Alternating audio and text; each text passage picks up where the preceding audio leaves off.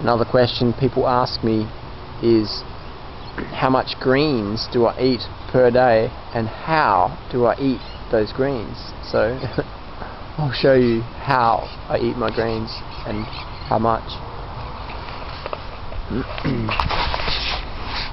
Here we go. Here's a, a lettuce here. So I just pull out the ground.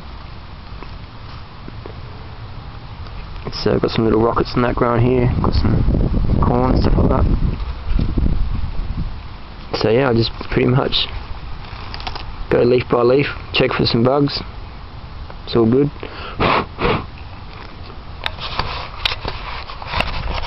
And just eat a lot of chips, man. Eat a lot of chips.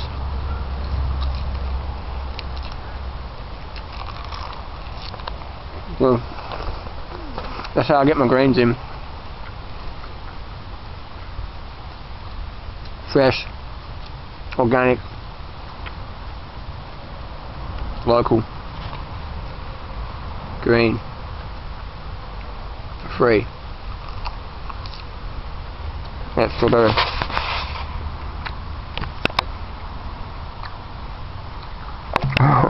Not ripe yet, but on its way.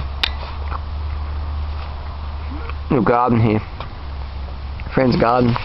They emailed me today and said, Harley, come around and eat some of our lettuces because they're going to seed.